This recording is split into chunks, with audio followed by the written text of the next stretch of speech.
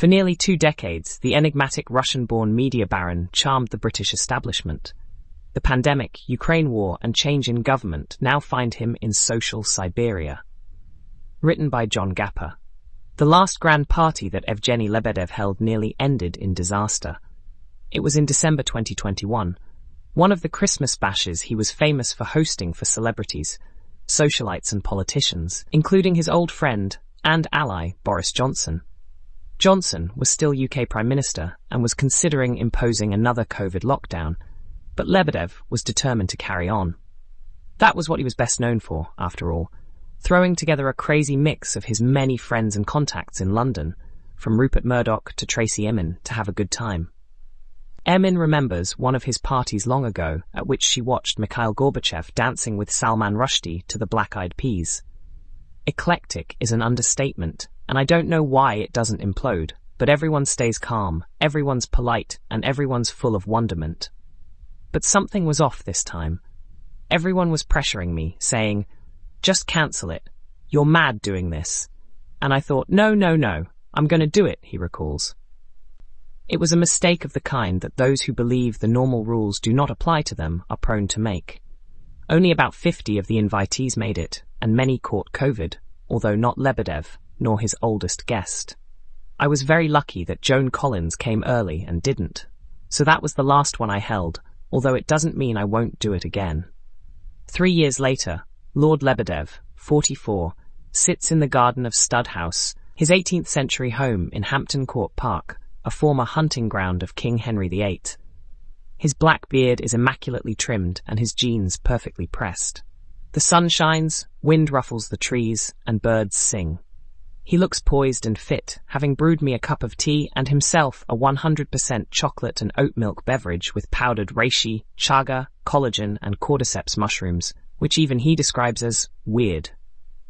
Studhouse is rather weird too. His father Alexander, a former KGB officer in London who built a fortune in post-Soviet Russia, acquired it in 2007. The son has since made it his own, originally with the help of the artist and interior designers Patrick Kinmonth and Edward Hurst. The result is an eclectic mix of country house comfort and macabre contemporary art, an Anselm Kiefer wedding dress and crucifix, a Rachel Kneebone sculpture of piled bodies, Jake and Dinos Chapman's long-necked bronze hamburglar.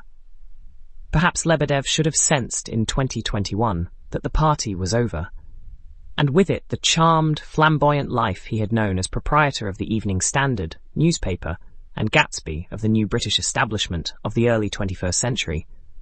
When Russia invaded Ukraine two months later, the balancing act of Baron Lebedev of Hampton in the London borough of Richmond upon Thames, and of Siberia in the Russian Federation, came crashing down. The benefit of the doubt was no longer extended to the dual national British and Russian citizen, who took friends on expeditions around Europe and Africa, sometimes by private jet, and delighted in dressing up. The scrutiny intensified when it emerged that Johnson had insisted on making him a peer, despite the initial, later withdrawn, doubts of the UK security services. A Channel 4 documentary questioned the loyalties of a man whose first childhood home was on Romanov Lane, Moscow. Nor has The Standard, acquired by Alexander Lebedev in 2009, together with The Independent a year later, been running smoothly. Being a media baron before becoming an actual one gave Evgeny a beneficial alliance with Johnson as London's mayor and helped him to turn its theatre awards into a glitzy annual event but it all came at a heavy price after initial success. In May, the Standard said it would stop printing daily and lay off staff, having lost £84, 5 million in six years.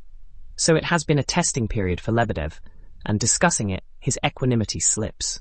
When the war broke out, I started being under attack. There are lots of people dying on both sides. So I don't want to be all woe is me, but I will say one thing. He describes coming to the UK as a child and later being told by Russians that it was an island nation that did not welcome foreigners. I've never, ever felt this in my life. It was sad to me that, at the age of 42, I suddenly did. What he calls a bunch of lies and bullshit about his possible KGB links still rankles. I was in touch with a florist the other day, he says. A florist. I repeat, unsure that I have heard correctly. Yes, a florist, a fucking florist, John, to get some flowers. They said, we can't take you on as a client. For what reason? We can't tell you. That, to me, is racism. On what basis? What gives you the moral high ground? Because I'm Russian, or maybe because you've read something. The social Siberia into which he was cast took its toll. By last summer, when that documentary aired, I felt very on edge. I felt I wanted to just get some healing. We're all human, and I can't pretend I'm just a machine, even to myself. Despite his flair for publicity and party giving, friends describe him as a loner at heart. I don't like to be, but the reality is that I am. But now I've acknowledged it, like acknowledging that you're an alcoholic. I'm going to work on it. The actor Helen Mirren met Lebedev at the Standard Awards and compares him to a character in a 19th century novel.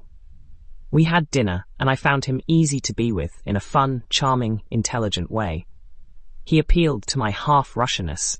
Her father was Russian. He comes from the complex, terrifying, pragmatic world of oligarchs, but there is an innocence about him. They had planned to take a train trip across Russia together. I would have loved that, but we could not do it now. One thing has already changed. Lebedev. Fatherhood. He is single, but we talked just before the fourth birthday of his daughter Maria, known as Masha. She lives alternately with her mother in London and with him. He is a proud and observant father. She's a very bright light in my life. It's been incredible to watch her growing up, particularly in juxtaposition with what I'm finding out about myself. You see everything you know is learnt because you see her learning, and everything is new. Spoken like an autodidact, it reminds me of something one of Lebedev's friends said of his teenage years. He attended Mill Hill School in North London, occasionally living in an apartment by himself at weekends, under the care of a guardian, because his parents had gone back to Russia to make his family's wealth amid the post-Soviet rough and tumble. I sometimes wonder if the experience of desertion marked him permanently. In a peculiar way, he is a self-made man. His parents were in their early twenties when he was born, and he describes Alexander's attitude to him as quite demanding in a dismissive way. Financially privileged but emotionally isolated, he says he grew up young. That's why I think I can do everything.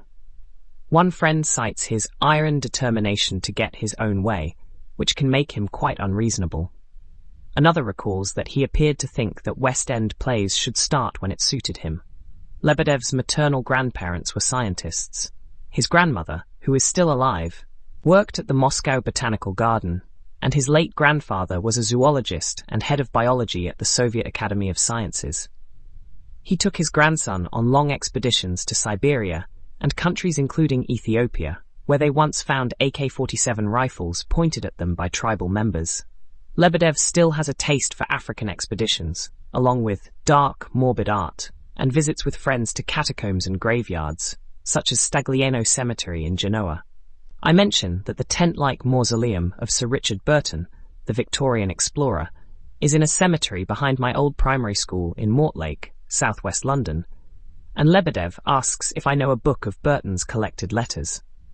I was reading it when I last went to the Omo River in southwestern Ethiopia, which is where I went as a child. You travel down by motorboat and you don't see a soul. There are crocodiles popping up and down, it was quite a pleasurable experience. Of course, so it is typical that when Lebedev crashed and burnt with anxiety, he responded by delving into his own mind. Hence, Shut Brave, the podcast he launched this year, in which he discusses breakthroughs in fields including human longevity and trauma, with figures such as the Canadian addiction expert Gabor Mate and the Dutch deep breathing maven Wim Hof. Never one to avoid an outre experience, he describes visiting a Costa Rican retreat and hallucinating on the plant-based psychedelic ayahuasca. A lot of people think it's wacky science, woo-woo, new age, but it is science-based. He says of extending life. As to psychedelics, I've had an interest in the more esoteric and shamanic aspects of it for a long time, and I just felt that I needed something. I wanted to explore myself. While tripping, he had a vision of an operation he had at the age of three the 1980s Soviet surgeon's mask and the old-fashioned reflective glass on his forehead, and being put in isolation to recover. Much about Lebedev seems to have its roots in his strange childhood. When I ask where his love of formal dress comes from, he pauses to consider. It's a good question. I wear things that I think are beautifully designed, beautifully tailored. The shallow answer is, I like the way they look on me. I remember when I was a child, watching movies of the Musketeers and the French Revolution, and just liking the costumes. He shares a fondness for display with a less meticulous dresser, Johnson.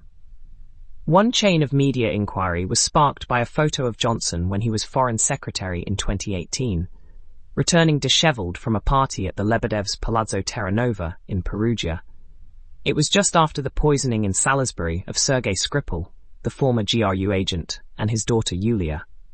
By the time that Alexander Lebedev was placed on a sanctions list by Canada in 2022, the Johnson-Lebedev axis had become publicly toxic, I can see that I was collateral damage in Johnson's downfall as Prime Minister, he says. Has it ended their relationship? No, Boris is a friend. I'm loyal to people. I don't turn on them. It is ironic, though, that despite everything that's been said, he presided over the worst worsening of relations between Britain and Russia, probably in modern history. So if I am his KGB controller, I haven't done a good job at all. Johnson declined to comment for this article.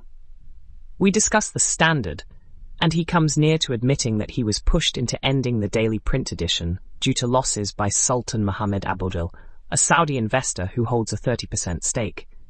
It was, primarily, the shareholders' decision. I really should have done it four years ago, but I didn't. I tried, I tried, I tried, and it just didn't stack up. He has high hopes for a new weekly print product. To close, we tour the gardens of Studhouse, with its flowing lawns and herbaceous borders, designed by the late Lady Molly Salisbury. Lebedev points out the Tudor bricks of the house's former stables. I was picking it with my father at the time, he'd said earlier of the purchase.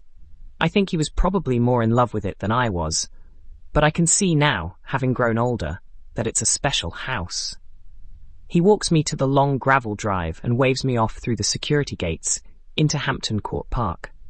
Deer scatter in the car's path as I rejoin the frantic world beyond his enclave.